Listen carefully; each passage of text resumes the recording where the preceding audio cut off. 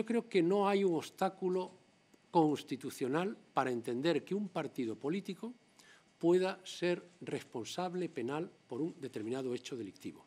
Sin embargo, sí creo que sería indispensable una adaptación de las penas que se pueden imponer a un partido político para impedir, por ejemplo, la disolución de un partido político. La corrupción de un determinado partido político en una agrupación política de la isla de La Gomera no puede dejar sin referencia política a todos aquellos ciudadanos que en otras partes del territorio nacional se sientan identificados con esa opción política. Entonces, yo creo que limitarse a lo que se limitó la reforma de 2012, que es a partir de ahora también se puede condenar a un partido político, es insuficiente. Hay que adaptar las penas.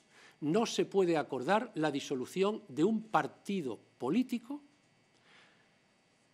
por un hecho concreto, geográficamente localizado y que es subsanable o que es atendible con la condena de los responsables de ese hecho concreto e individualizado.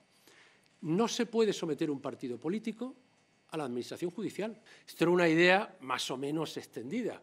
Bueno, pues piensen ahora cómo la persecución de los delitos cometidos a través de Internet pues ha provocado que el delito no se circunscriba al espacio de soberanía, sino que zigzaguee, que las rutas telemáticas de tránsito determinen que el delincuente que está en Aranjuez sin embargo, se vale de un servidor instalado en Filipinas que redirecciona a uno de Pensilvania.